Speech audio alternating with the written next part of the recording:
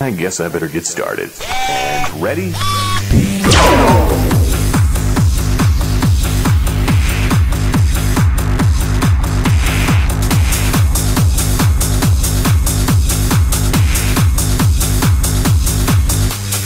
I want to congratulate everyone taking part in the 2014 FIRST Robotics Championship. The first Robotics Open African Championships will be hosted alongside Africa Automation Fair at the Dome in Northgate, Johannesburg on Tuesday to Thursday 5 to 7 May 2015, inviting over 70 local and international teams to participate at this first ever for Africa, not to be missed showcase of over 2,000 square meters of talent and passion for robotics on display by our young future engineers and innovators. First Robotics was founded by inventor Dean Kamen to spark and inspire young people's interest and participation in science and technology, encouraging thousands of children between the ages 6 and 18 across the globe to explore and understand the world of robotics and automation. First LEGO League introduces young students to the real-world engineering challenges by building LEGO-based robots and completing tasks on a thematic playing surface.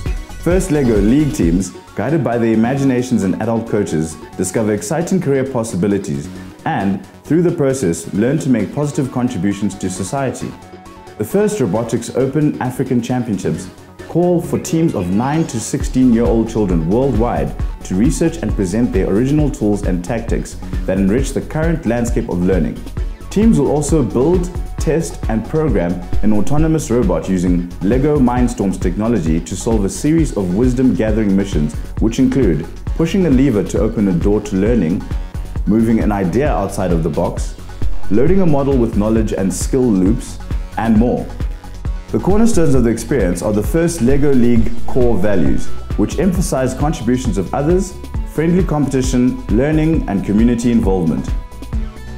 First Tech Challenge is a separate, more advanced program designed for older students from grade 7 to 12 to compete head-to-head -head using a sports model. Teams are responsible for designing, building and programming their robots to be challenged in an alliance format against other teams. The robot kit is reusable from year to year and is programmed using a variety of languages. Teams, including coaches, mentors and volunteers, are required to develop strategy and build robots based on sound engineering principles. Awards are given for the competition winners as well as for community outreach, design and other real-world accomplishments.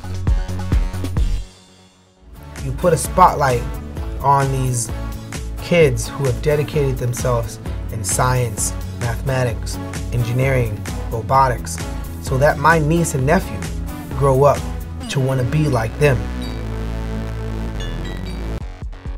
We are calling on all relevant corporate organizations and suppliers within the automation industry to assist us in staging the largest, most exciting Young Robotics Challenge our continent has ever seen.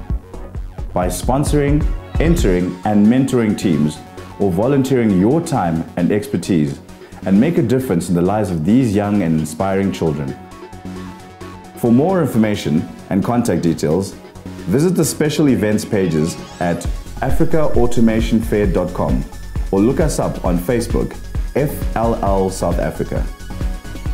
Be part of the First Robotics Open African Championship 2015, where kids walk in and innovators walk out.